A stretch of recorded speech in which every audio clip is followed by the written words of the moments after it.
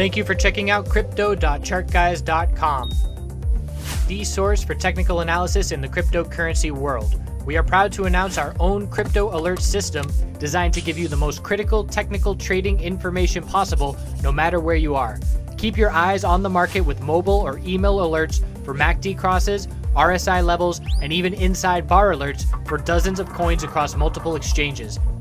New features and proprietary chart guys indicators are already in development. Our alert system is very easy to customize and utilize, so don't hesitate to sign up for the most effective crypto trading tool on the market at crypto.chartguys.com.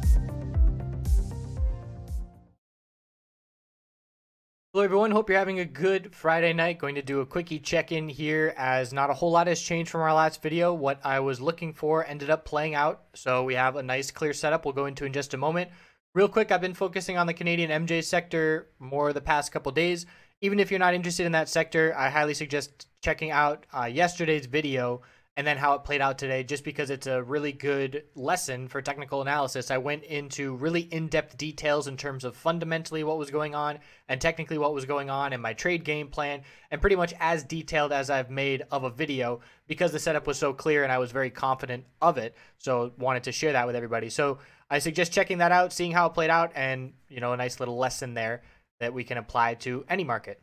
So checking in on the big three, the daily time frame gave us that pullback I was looking for. So yesterday uh, we were still looking strong on this bounce, the the little mini bounce that we have been seeing, and I was saying, you know, I don't want to see the bulls break this level. If they do, we have to worry about this previous resistance, and if we can just pull back from here and establish another higher low, it will be a perfect equilibrium pattern. The levels will be more clear.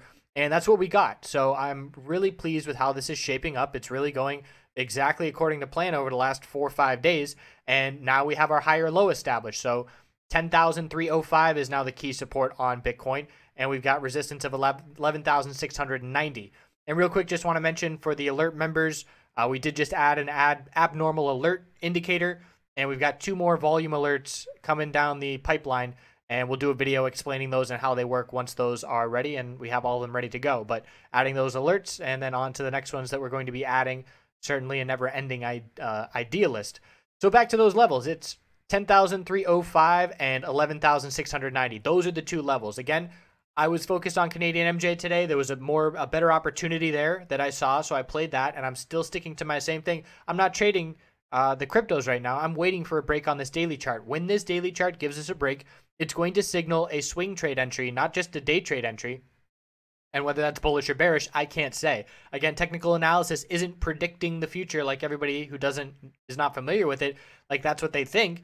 It's reacting. I'm going to wait till this tight pattern breaks and then I'm going to react to it and jump on that momentum. If it's bearish, of course I don't have a, an ability to short it, but I certainly would if I could.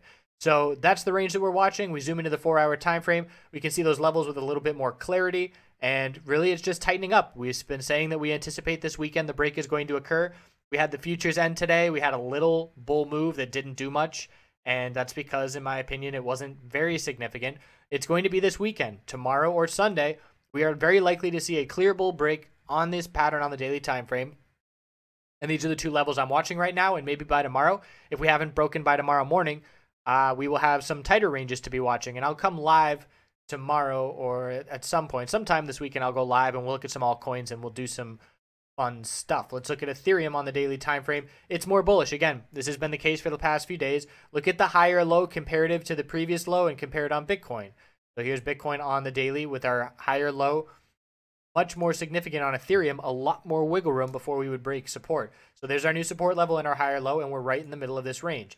So the support I'm watching is 987.54 and the resistance is 1098.74. That's still a pretty wide range that we've got going and it's going to it could stay in there like I said another day or two. So we're going to be watching those two levels. Here's a very similar chart on the 4-hour time frame and we're just patiently watching. Again, those are the only two levels that really matter right now. The moves are not seeing as significant follow through as they have been. There have been, again, like I said, tradable opportunities, a couple percent, 3% if you make a good trade the past couple days. But uh, the Canadian MJ opportunity was, you know, 8 to 10% in one day. So got to go where the volatility is at. And once we get comfortable with technical analysis, we can do that freely and be very agile and adaptive to the changing markets. The Litecoin on the daily time frame, pretty solid bounce from the lows. So putting us right in the middle as well. Uh, we barely held that support. So I'm going to keep that same level, not worth changing that small amount. The level here was 165.01. We bounced off 166.15. When those support levels are that close, I'm going to choose the lower support level and use that as my guide. So that's 165.01 key support and the resistance level. There's a few up here, but it's 184.80 is the level I'm watching. So that's the range. We are very tight on the daily time frame. You look at the four hour, and we've been within this channel for quite some time. So it's very simple. That's what we're watching uh, in terms of the range on the daily time frame for the big three. There are plenty of altcoins that will likely follow with the direction that we break and with the correlation picking back up. So we are in for a pretty decisive moment coming up here. It's, it's like I've been saying, it's going to be uh, significant in terms of the momentum and the direction for February. So if we see a bear break, let's go over scenarios. If we see a bull break on this daily time frame, we're going to be looking up at the next resistance of 12,985. And from there, we're going to be looking to maintain our higher lows that we've been forming and then start breaking these lower highs and get over these daily exponential resistances. If we see a bear break, we are going to see a test down to 9,000. Again, this weekly chart is extremely bullish. I look at this weekly chart and I would have no problems being a long-term bull in a weekly chart that looks like this. And we would see, if we see a break of 9,000, Again, it's not ideal, but it still doesn't ruin this chart and it doesn't ruin this trend. What would ruin this trend for me on the weekly time frame would be this size pullback, a bullish break on this daily equilibrium pattern, the bulls making their way back up to 15,000 and then pulling back and going from 15,000 to another lower high and then pulling back and breaking 9,000 and forming another lower low. So essentially the act of bouncing and then pulling back rather than just pulling back would be more significant to me on the longer term. This wasn't a significant bounce. This isn't much of a lower high, lower low. Again, it's still a potential bull flag, still just fine. But if we set another lower high and low, lower low, we're going to lose these exponential moving averages. We're going to see them make a bear cross, and it's going to be a lot more significantly bearish. People have been asking about the weekly MACD. Yes, it's worth watching, but it's also a lagging indicator. We've been watching this uh, weekly bearish MACD curl occur for the last three weeks. So it's not like it's all of a sudden going to cross and then everything's going to dump. It's already factored in to the market at this point, and we could very easily, you know, level out and see these moving out these MACDs stay right close to each other. So long term, we're going to get a significant break this weekend, and it's not going to be the change of the trend and the end of this uptrend, even if it's a bear break. So just want to give that uh, insight. Really, the last consolidation low on this weekly chart is this one week of consolidation down at 5,511. That's a key level for me. Anything above that level, I consider a higher low on the weekly time frame. We could pull back, break 9,000, break 8,000, 7,000, and bounce off 6,000.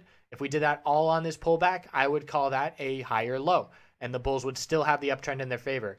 You can see that every period of consolidation has been met with continuation.